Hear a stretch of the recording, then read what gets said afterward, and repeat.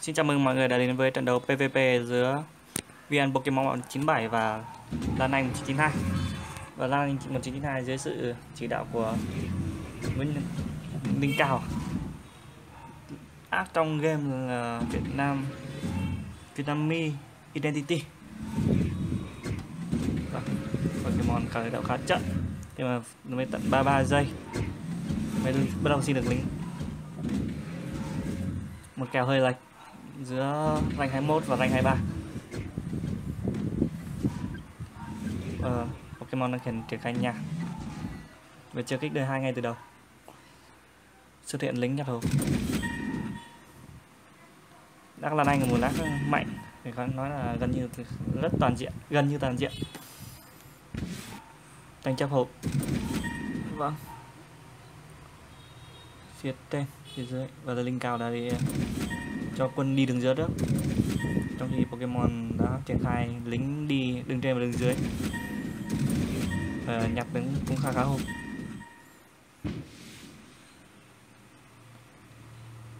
thi thoảng thấy lính lính của linh cao đi qua nhưng uh, có vẻ như hết hộp rồi. Bắt đầu rồi nha và không dò sâu mà quyết định cho lính nhân nấp bụi sớm và Pokemon đã xây hai cái choi. Chống lính rồi nha. Kích đã kích đời hai xong. Chuẩn bị kích nhà chính đời ba.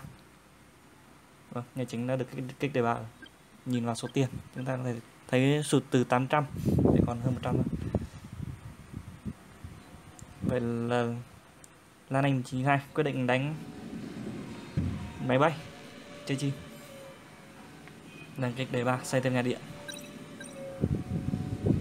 và phía Lan Anh đang nhảy đề hai cho sườn xe chiến đấu.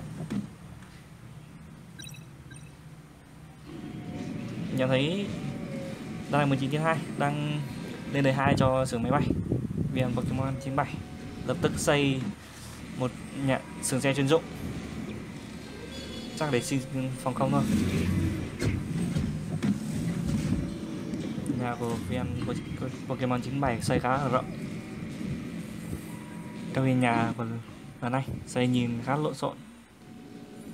Có vẻ như không được nhiều công trình như bên Pokemon. Vâng, đã thấy phía Lan Anh. Liên tục xin B21 Hammer. Và có cả Vector, Vertex. Và một con Hammer đã đi rồi. Một phà lác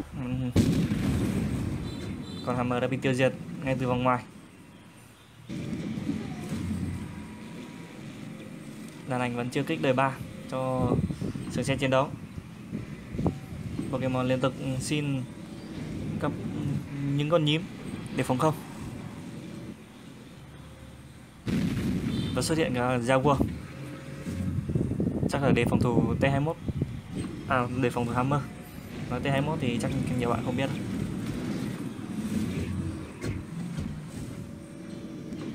Và đó là xưởng xe chuyên dụng thứ ba đã được xây lên. Ba xưởng xe chuyên dụng liên tục sản xuất nhím và là, là anh đã bắt đầu tấn công. Một xưởng xe trên dụng đã bị sập đổi lại là anh rụng một máy bay.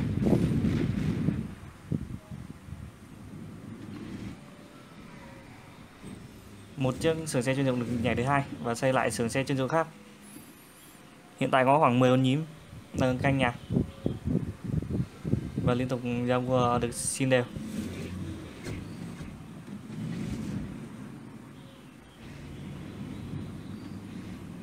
Vâng. vâng tiếp tục kích đầy ba. Do chiếc sườn xe chuyên dụng vừa lên đầy hai xong. Có vẻ như là Pokemon đang muốn xin khói từ sớm để ờ, chống các Vertex bắn vào dầu quân cũng có thể là thủ nhà. Chống lại đàn lính và Hammer của Lan Anh. Vì thấy nãy giờ, Lan Anh liên tục xin Hammer và Vertex, có thể là Asaun nữa.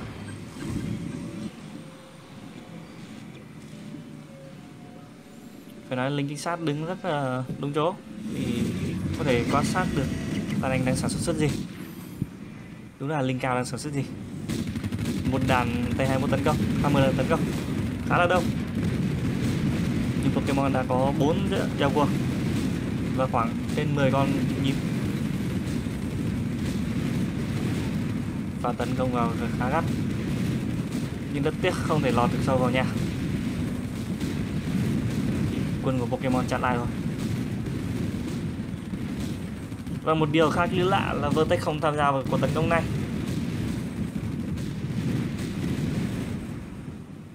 Tấn công lớn hay chăng? Chúng ta không thấy Vertex đâu. Con khói đầu tiên chuẩn bị xuất xưởng.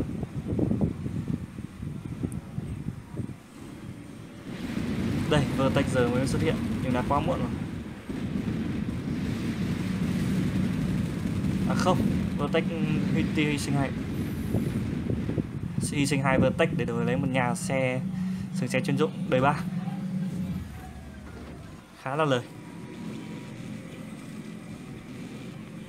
Pokemon đã kích đời cho sừng xe chuyên dụng khác và xây thêm một sừng xe chuyên dụng mới.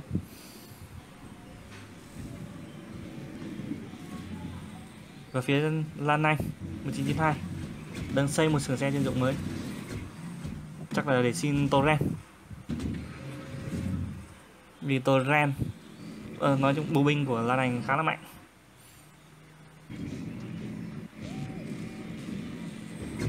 Lục quân lục quân của Lan Anh khá mạnh. Hai sưởng xe chuyên dụng. Về một bài đánh nhiều torrent hay chăng? Trong khi đó sửa xe chiến đấu vẫn rơi hai. Khá kỳ lạ Pokemon đã đắp thêm 4 chiếc tháp phòng không?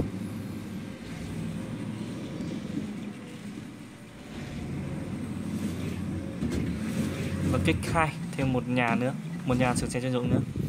Vậy là bắt đầu Pokemon xin Mamo xin pháo tầm xa.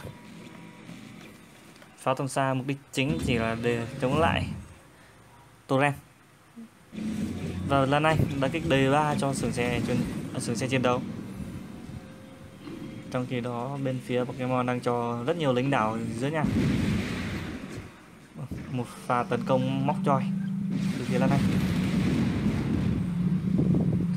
khá rát. Có vẻ như sẽ vâng vậy là một hy sinh, một vertex đời, một choi.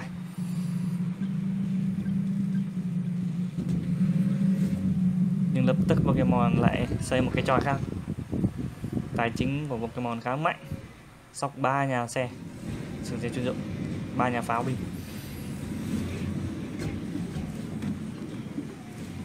Vâng, lần anh vẫn liên tục sản xuất Vertex.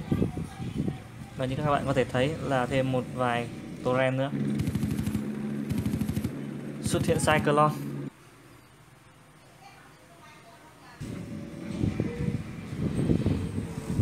Vertex đang được ra liên tục kể cả, kể cả torrent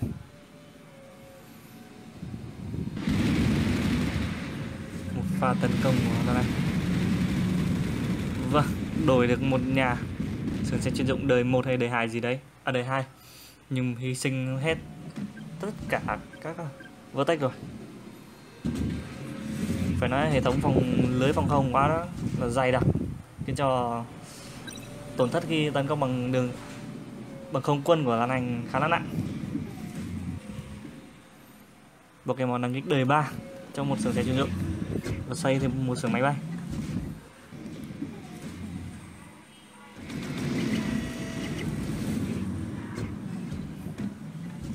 Và Zamamo đang được nhóm lại.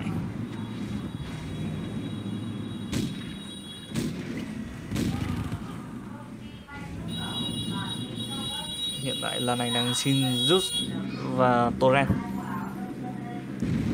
Pokemon cắt một con nhím ra. Đi bắn con Cyclone này.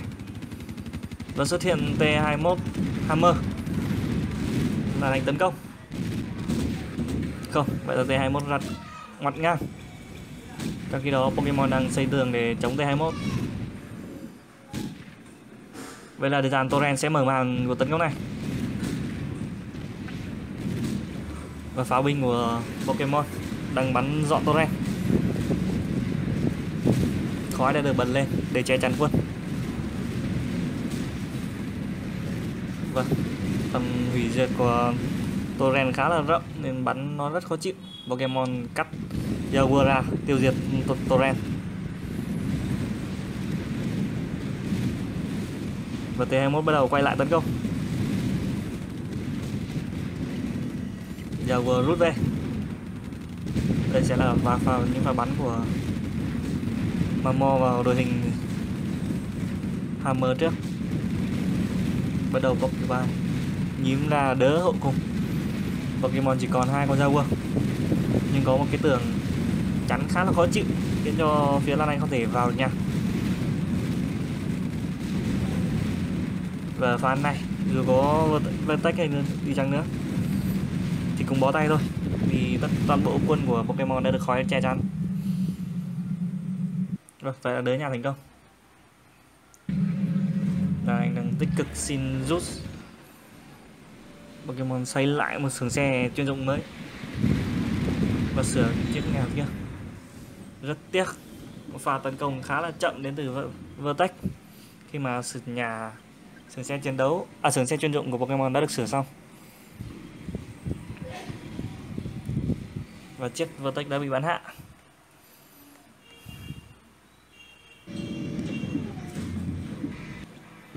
Là Anh lại xin thêm Cyclone. Có vẻ như muốn là Anh là muốn quản mắt và, và Pokemon đã kích đời 4 cho chiếc trung tâm chỉ huy. Quân số hiện tại là 123 và xây lại hệ thống choi để lấy tầm nhìn cho phía dưới. Quân liên tục đang được sản xuất, bây giờ tăng cường giàu quân và thêm mamo một pha tấn công. Ui, một pha tấn công phải nói là mọc khá là khó chịu đến từ torrent của lợn đàn anh tấn công bằng rút và một dàn lực rất mạnh. Torrent đứng trên đồi, không thể nhìn thấy gì luôn. Liệu có thể đỡ nhà hay không? Khá là đông rút. Nhưng mà rút đâm vào khá là mù vàng không biết rút đang bắn gì đây. Đang bắn nhà thôi. Rút có thấy gì quân đầu bắn? Vậy là đàn rút đã bị rỉa xong nhưng đổi lại ăn được khoảng ba bốn cái nhà quân của Pokemon. Phải nói tầm bắn của tổ là ảnh khá là khó chịu. Trong khi mấy con pháo kia với không đến lên đồi luôn. Wow, xuất hiện tổ rèn của lan anh. Đang bắn vào chiếc nhà sửa xe chuyên dụng đời 3 rất nhiều torrent và Pokemon đã kéo ra vua ra tiêu diệt đống torrent này. Nhanh chóng Pokemon xây lại các công trình xưởng xe chuyên dụng để sinh quân. Đàn anh còn đang xin rút. Và vừa thấy có dấu hiệu xin thêm cả Vertex.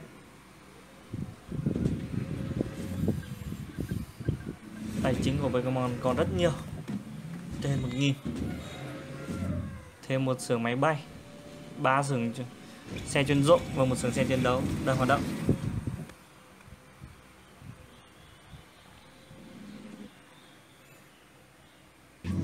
Từ đầu trận tới giờ Pokemon đang có lợi thế về quân. Khi mà chưa phải tổn thất nhiều trong các cuộc giao tay chỉ mất nhà thôi.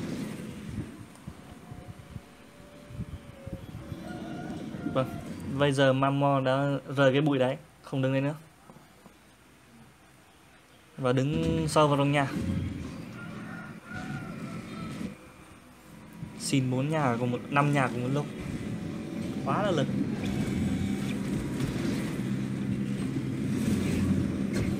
Cây tròi được đắp lại. Để lấy tầm nhìn. Và canh Ason rồi nè. Vâng cái gì đây? Cyclone. Một con torrent vừa mới ra từ sườn xe chuyên dụng của Lan Anh Pokemon đang bày quân. Với hướng dự đoán là từ tấn công phía dưới. Vâng đúng là có rút từ phía dưới lên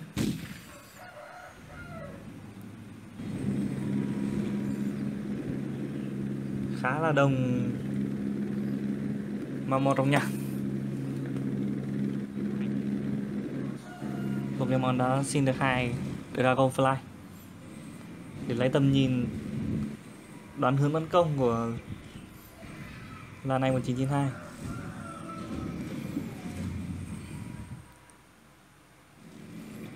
vâng, Vậy là quân số đã đây. Đây 1992 đang bắt đầu tấn công chưa?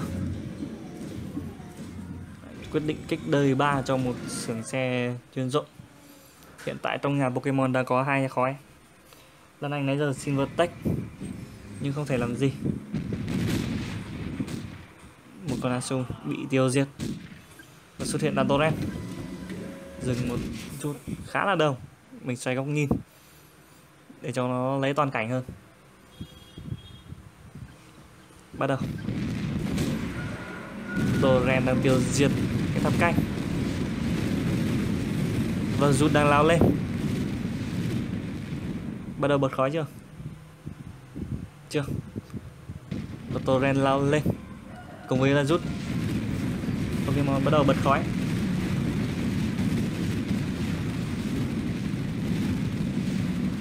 Mình có thể thấy đây là một cuộc tấn công khá là tự sát. Cái từ lan này khi mà mình không thể biết được trong nhà Pokemon đang có bao nhiêu quân nhưng vẫn lao rút vào. Cứ cho là có cả torrent bắn ngoài trợ đi. Nhưng không thể biết được quân Pokemon đang đứng chỗ nào. Khá đông torrent chụp vào một chỗ. Quân của Lan Anh đang bị tiêu diệt gần hết. Vậy là hoàn toàn bị đẩy lùi từ cuộc tấn công. Trong khi Pokemon gần như không tổn thất tổn thất bao nhiêu? Quân số 97 trên 123 so với lúc nãy là 123 trên 123 thì tổn thất không đến 30 quân số. Pokemon bắt đầu phản phản công. Đây là thời thời cơ tốt. Khi mà Lan Anh vừa thiệt hại toàn bộ lực lượng. Và như này trong các cuộc tấn công của Lan Anh, không thấy sự tham gia của lực lượng không quân. Không biết không quân xin để làm gì đây? Chắc làm cảnh chơi thôi mà cũng có tấn công thì chịu thôi. Chỉ tấn công được công trình, vì quân của Pokemon đã được khói che chắn. Xuất hiện một con rút lẻ. Vâng đá thấy Vector, Vertex. Vertex đang bắn gì đấy? Vừa bắn một con Dragonfly máy bay được tăng do tám của Pokemon.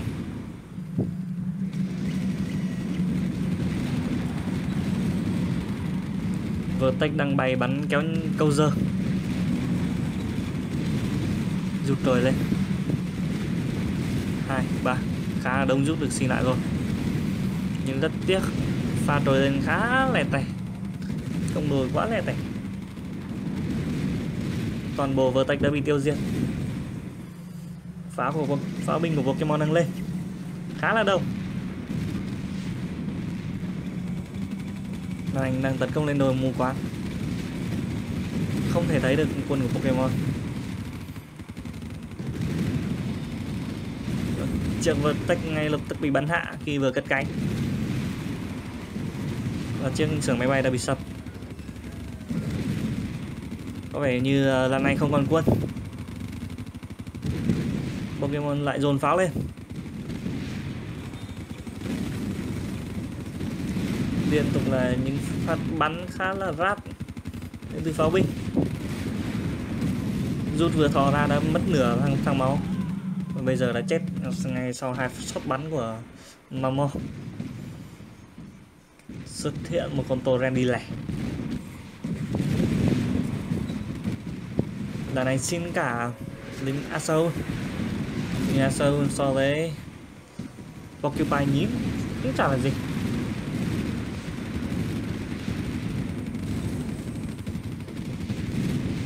Có vẻ như là này sẽ không đỡ được nhà nữa.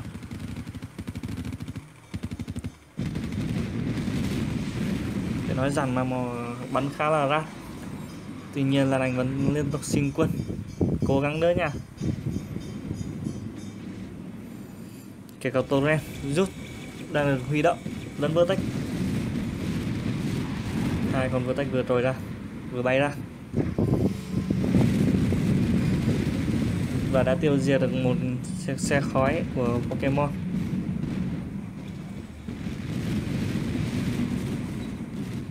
Toren đang bị pháo Mamo câu khi mà chưa kịp ngắm bắn.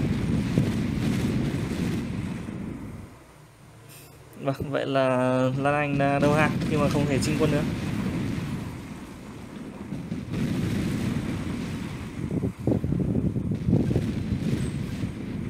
Mà mò liên tục dàn hàng để câu đạn vào. Một cái đồi thế thế nhà phải nói khá là khó chịu mà bạn không thủ thể lùi sâu thủ được, thì chắc chắn bạn sẽ bị tấn công, bắn nát bởi các loại quân tầm xa. Thì nói số lượng pháo trong này, pháo trong đợt này của Pokemon khá là đông. Với đội hình rừng rậm và đồi này, đánh pháo là phương pháp hiệu quả nhất. Tất nhiên, bạn vẫn cần phải có một ít ra quân để chống lại rút hay các quân cố gắng tiếp cận pháo.